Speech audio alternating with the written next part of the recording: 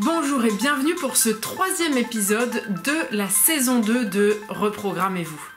Ah, l'action, l'action, action Il y en a beaucoup des gens qui adorent être dans l'action ou qui au contraire ont beaucoup de mal à passer à l'action. Et puis il y a certainement tous les intermédiaires entre les deux. Alors aujourd'hui, on va aborder l'intérêt de changer de point de vue avant de passer à l'action. Et quasiment systématiquement, en fait. C'est une très très bonne habitude à mettre en place. Pourquoi? Imaginez un toboggan et vous posez une bille en haut de ce toboggan, un petit toboggan hein, que vous posez sur votre table par exemple, et vous posez une bille en haut du toboggan. Vous vous attendez à ce que la bille descende le toboggan, mais rien ne se passe. Et parfois c'est un peu la même chose dans la vie.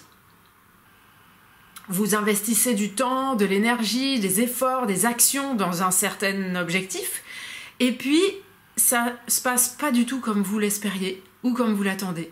Vous essayez de faire plaisir à quelqu'un et puis la personne réagit n'importe comment.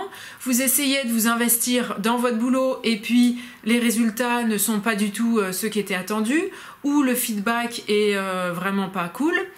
Ou bien vous essayez de développer votre activité et ça se passe pas de la façon euh, que vous espériez. quoi d'autre? Vous essayez de perdre du poids et puis finalement vous en prenez. Vous essayez d'avoir confiance en vous et c'est de pire en pire vous essayez de vous remettre à l'action et puis finalement vous vous retrouvez sans cesse dans votre canapé.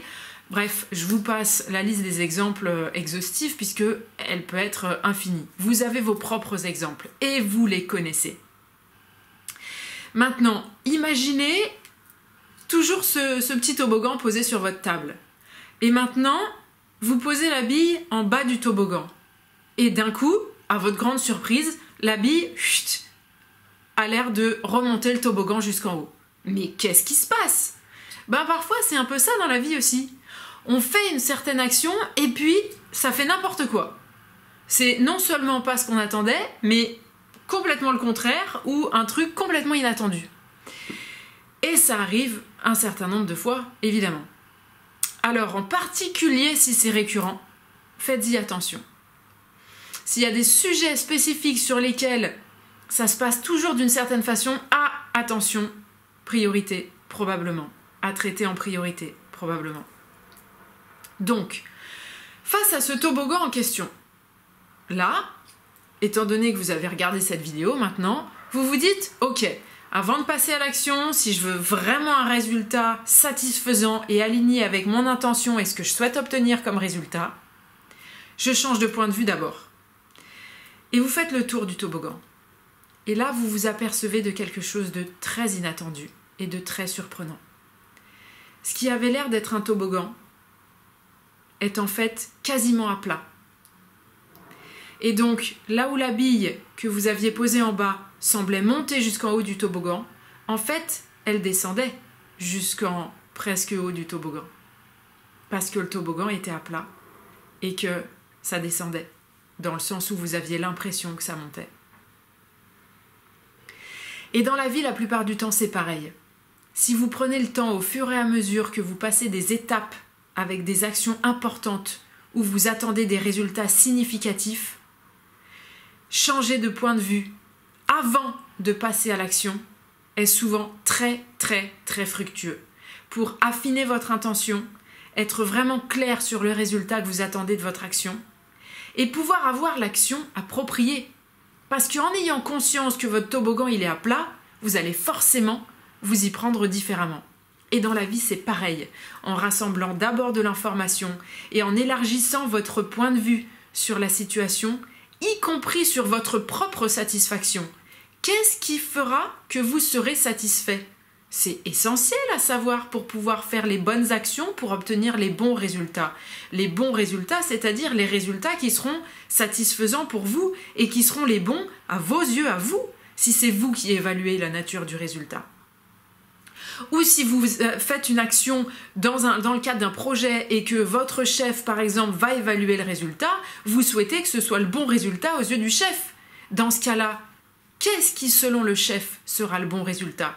Est-ce que vous êtes sûr d'avoir la réponse à cette question avant de vous jeter dans l'action? Ah, alors oui, poser des questions, c'est pas toujours agréable. Moi, on m'a souvent, euh, souvent identifié comme celle qui pose des questions. Et euh, je crois que souvent, ça a arrangé tout le monde dans la salle. Parce que j'étais celle qui posait des questions pour tout le monde, en fait. Parce que souvent, j'entendais Ah ouais, c'est une bonne question, c'est une bonne question. Ah ouais, ouais, moi aussi, je me demande et tout. Ben ouais. Oser poser des questions, c'est quelque chose qui vous aide à vous garantir le succès de vos actions.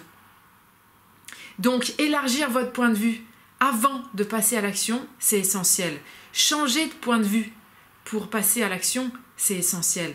Et ça, ramener à vous, on en revient à la reprogrammation de soi. Transformer son point de vue, c'est une façon de reprogrammer notre propre interprétation de la situation. C'est-à-dire qu'au lieu de considérer qu'on sait et que de toute façon le toboggan il est comme on a l'habitude qu'il soit, c'est-à-dire qu'il y a un haut, un bas, il descend et c'est tout, eh bien on change de point de vue et on découvre que, ah, en fait, ça peut avoir l'air d'un toboggan, mais être complètement autre chose. Et donc dans ce cas-là, je vais m'y prendre autrement pour y arriver. Ça va peut-être même me demander encore moins d'efforts. Parce que si je dois poser la bille à ce que j'ai l'impression qui est le bas du toboggan, j'ai même pas besoin de monter l'échelle pour aller jusqu'en haut. Ah Et ça aussi dans la vie, souvent c'est vrai. Je parle beaucoup du moindre effort. C'est pas anodin, c'est parce que effectivement, en changeant de point de vue et en étant vraiment précis sur où vous êtes, qui vous êtes et ce que vous voulez obtenir comme résultat, l'action à mener, elle est bien moindre que tout ce que vous aviez prévu de faire en ne sachant pas vraiment qui vous êtes, ni d'où vous partez, ni où vous souhaitez aller. Parce que là, généralement, on en rajoute. Étant donné qu'on ne sait pas exactement, on, en rajoute pour, être sûr que ça donnera quelque chose. Et euh, très souvent, euh, ça donne pas toujours grand-chose en fait. Donc, se reprogrammer pour pouvoir faire les bonnes actions, économiser votre énergie, aller droit au but et maximiser votre satisfaction. Et maintenant, l'idée c'est d'éviter de perdre du temps aussi et d'aller droit au but dans ce qui vous épanouira dans la vie, pour vivre la vie que vous avez vraiment envie de vivre au fur et à mesure, au jour le jour et dès aujourd'hui. Je vous invite à me contacter pour me dire quels sont vos sujets, quelles sont vos questions, pour que je puisse les aborder en priorité. Je serais ravie de le faire et d'aller plus loin sur les sujets qui vous importent aujourd'hui. Apprendre à nous reprogrammer, ça fait vraiment partie de l'hygiène de vie actuelle. De la même façon, comme je disais précédemment, qu'on prend sa douche ou qu'on se brosse les dents, aujourd'hui, on peut être maître de soi-même, être conscient de nos fonctionnements, de nos schémas de pensée, et les reprogrammer quand ils sont inconfortables ou quand ils ne nous conviennent pas, ou de les optimiser pour optimiser notre énergie, notre bien-être, nos actions, nos résultats. J'ai également écrit un livre qui s'appelle Reprogrammez-vous de la théorie à la réalité. Je vous invite sincèrement à lire ce livre parce que les, retours que j'ai de la part des gens qui, profitent vraiment de ce livre comme un outil parce que c'est un mini programme en soi qui permet vraiment la transformation que vous voulez si vous prenez votre stylo et que vous vous plongez dedans vraiment avec l'objectif d'en obtenir un maximum de euh, bénéfices, c'est ça qui va se passer. De la même façon, vous vous programmez à obtenir le bénéfice et le livre est structuré pour vous y accompagner. Si vous avez des questions, s'il vous plaît, posez-les moi. J'adore recevoir les questions et en particulier, j'aime beaucoup J'adore répondre aux questions, avec grand grand plaisir. Et par-dessus tout, je vous souhaite le meilleur.